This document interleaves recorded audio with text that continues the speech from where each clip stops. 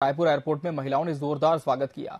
इस मौके पर केंद्रीय राज्य मंत्री ने कहा कि लोगों की उम्मीद पर सरकार खरी नहीं उतरती तो लोग परिवर्तन का मन बना चुके होते। छत्तीसगढ़ के लोगों ने परिवर्तन का मन बना लिया है। निश्चित तौर पर नवंबर में प्रदेश में परिवर्तन होगा।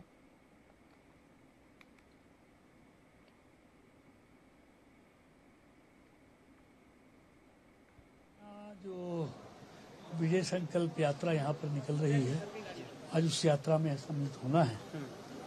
मैनपुर में। और, छत्तीसगढ़ के सम्मान के लिए, विकास के लिए यहाँ परिवर्तन बहुत ज़रूरी है।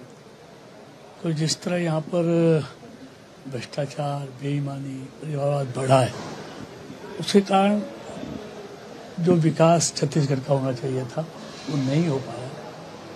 तो इसी छत्तीसगढ़ के विकास के लिए भारतीय जनता पार्टी बहुत ज़रूरी है।